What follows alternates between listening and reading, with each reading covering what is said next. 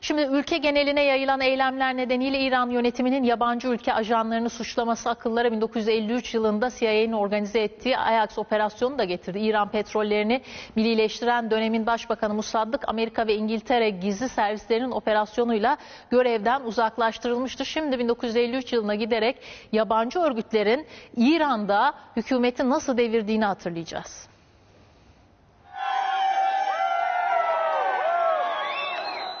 İran'da hükümet karşıtı gösteriler sürüyor. Protestocular 2009 yılından farklı olarak ekonomi temelli gerekçelerle sokakta olduklarını söylerken Cumhurbaşkanı Hasan Ruhani ve dini lider Hamaney'den ard arda önemli açıklamalar geldi.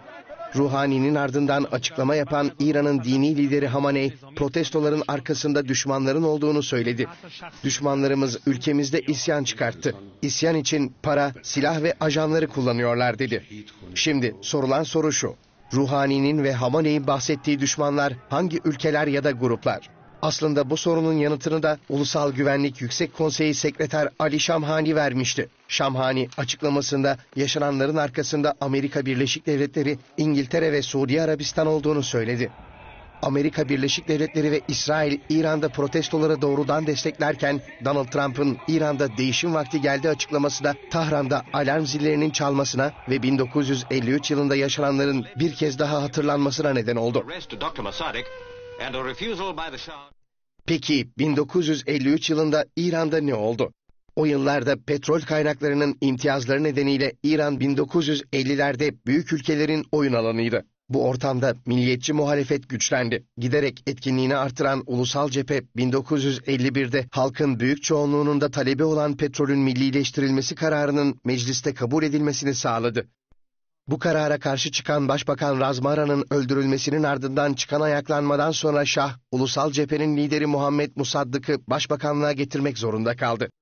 Batı'da eğitim görmüş, bağımsızlıktan ve ulusal egemenlikten yana olan bir milliyetçiliği savunan Musaddık'ın ilk işi petrolün ulusallaştırılması yönündeki kararı onaylamak oldu. 300 killed and İran Şahı Muhammed Rıza Pehlevi, Musaddık yönetiminden memnun değildi. Gücü yeniden eline almak istiyordu. Londra yönetimi de Musaddık'ı kararından caydırmak için ambargoda dahil her türlü yaptırımı devreye soktu. Ancak sonuç alamadı.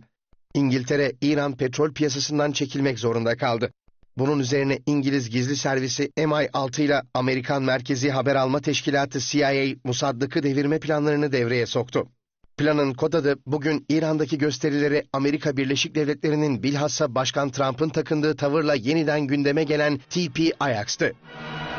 Mossadegh and his government were swept from power in favor of General Zahidi. CIA Başkanı Alan Dulles, Musaddık'ın devrilmesi için 1 milyon dolarlık bütçeyi onayladı. Bütçenin onaylanmasının ardından eski başkan Theodore Roosevelt'in oğlu olan CIA'in Yakın Doğu ve Afrika İstasyon Şefi Kermit Roosevelt, Tahran'a gidip operasyonu bizzat yönetmeye başladı. Yani istihbarat örgütleri artık Tahran'daydı. İran Başbakanı Musaddık'a karşı Amerika ve İngiltere'nin ortaklaşa düzenlediği darbe hareketi 15 Ağustos 1953 gecesi başladı.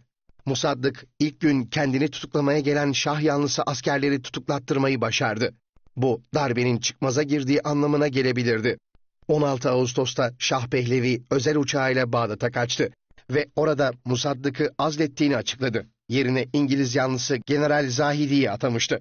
Şah yanlıları ise sokaktaydı. Birkaç gün önce yankılanan Yaşa Musaddık sesleri artık yerini Yaşa Şah'a bırakmıştı. Foreign Minister Fatimi gets through. First report.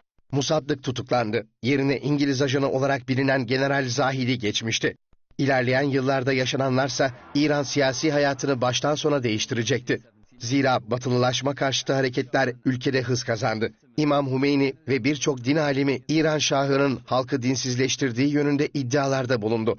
1979 yılında da Şah yönetimi devrildi. Amerika Birleşik Devletleri 1953 yılında demokratik yolla iktidara gelen İran hükümetini devirmişti evet ama uzun yıllar Amerika Birleşik Devletleri'nden bu konuyla ilgili bir açıklama yapılmadı. Ta ki 2009 yılına kadar. O yıl dönemin Amerikan Başkanı Obama da Amerika'nın darbedeki rolünü itiraf etti. Şimdi İran'da yaşanan olayların gidişatında Amerika Birleşik Devletleri'nin etkisi var mı yok mu bilinmez. Belki yanıt yıllar sonra ortaya çıkar. Ama bilinen şu, Amerika Birleşik Devletleri Başkanı Trump'ın açıklamalarının akıllara bir kez daha 1953 yılını getirmesi kaçınılmaz.